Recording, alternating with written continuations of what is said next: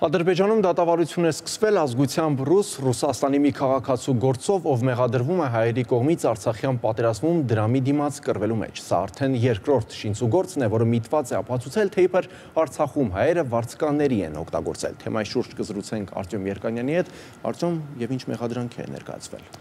Ադրբեջանի ծանրագույն գործերով դատարանում, դատարանում սկսվել է այդ դատավարությունը մեղադրյալի համբաստանյալի աթորին նստած է Ռուսաստանի քաղաքացի Էդուարդ Սերգեյ Դուբակովը, որին Ադրբեջանում փորձում են ներկայացնել որպես վարձկան։ Առաջին դատական նիստը այսօր շատ կարճ է տևել, զուտ տեխնիկական խնդիրների են անդրադարձել, մասնավորապես տեղեկացրել նրա իրավունքների մասին եւ պետության հաշվին նրան փաստաբան են տրամադրել։ Հաջորդ նիստը կկայանա հունիսի 30-ին ամբաստանյալին 4 հոդվածներով մեղադրանք է ներկայացվել ուրեմն ահաբեկչական գործողություն ահաբեկչական գործողության ֆինանսավորում կազմակերպված հանցավոր խմբի մասնակից լինել եւ պետական սահմանի անօրինական հատում հայտնի չէ թե դատախազությունը որքան է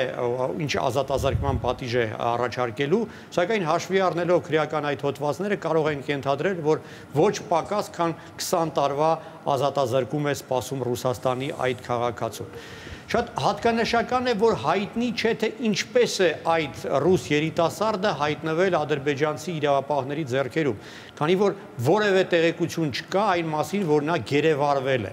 եւ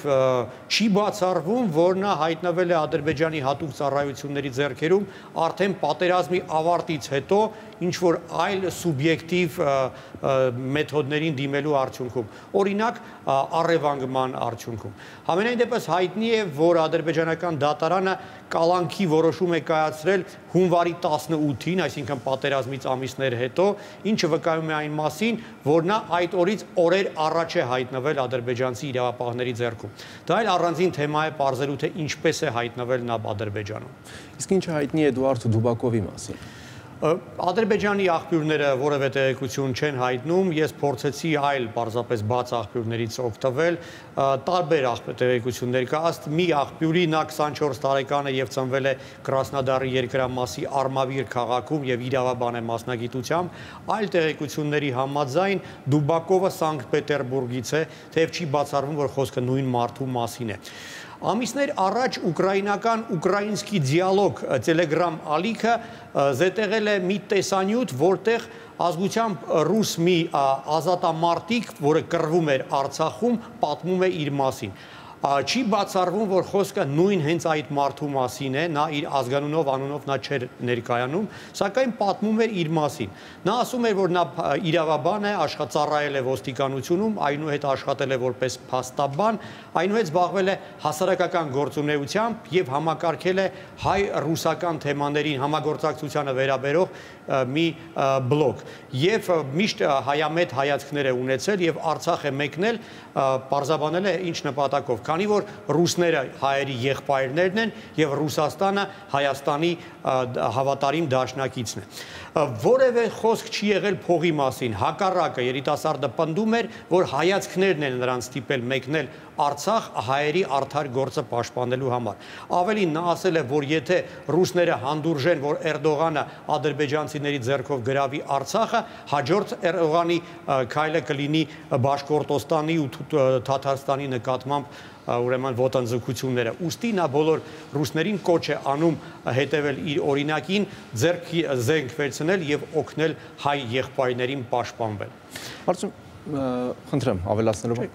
Եվ ի վերջո ինչ է ցանկանում Բաքուն, ինչ նպատակ է հետապնդում այս շինցուգործով։ Դե երկու նպատակ կարծում եմ, առաջինը դրանով ինչ որ ձևով այսպես հակազդում է կամ փորձում է բալանսավորել այն փաստը, որ արդեն ապացուցվել է, որ Ադրբեջանը հազարավոր սիրիացի վարձկան գրոհայիններ է օգտագործել այդ պատերազմում, մեկ ու կես ամիս առաջ դրանցից երկուսը ազատազրկման դատապարտվեցին Հայաստանի դատարանի կողմից։ Այսպիսով փորձում են ապացուցել, թե իբր հայերը նույնպես օգտագործել են վարձկանների։ Դե իսկ երկրորդը ցա Ռուսաստանի վրա ճնշման լծակ է։ Պարզ է, որ Ռուսաստանը կփորձի պաշտպանել իր հա, համակարգացում, կփորձի հասնել նրա արտահանձմանը, իսկ Ադրբեջանը դրա դիմաց որոշակի քաղաքական բնույթի զիջումներ է պահանջելու։ Հավանաբար հենց այդպես եղավ Մարատ Ելդանովի գործի հետ կապված։ Հիշում հիշում ես Ռուսաստանի մի քաղաքացի, որը նույնպես ազատազրկման էր դատապարտվել Ադրբեջանում եւ Ռուսաստանից մեծագույն ջանքեր պահանջվեցին նրան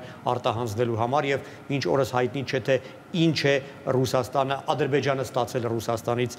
դրա դիմաց։ Կարծում եմ նույն այս համատեքստում արժի դիտարկել նաև օրերս Արա Աբ รา համյանի եւ Սամվել Կարապետյանի դեմ Ադրբեջանում հարուցված քրեական գործերը եւ նրանց փորձելու են միջազգային հետախուզում հայտարարել, փիսով զանգվածային արշավ են նաեւ սկսել ռուսաստանցի ազդեցիկ հայերի դեմ, ինչ այդ էլ հիշում ես Ռուբեն Վարդանյանի դեմ էր նման արշավ, ինչ այդ հանգուցյալ Լևոն Հայրապետյանի դեմ։ Կարծում եմ այս ամենը նույն այս արշավի որպես շղթաներ արժին ընկալել եւ մեկնաբանել։ Շնորհակալություն Արծու։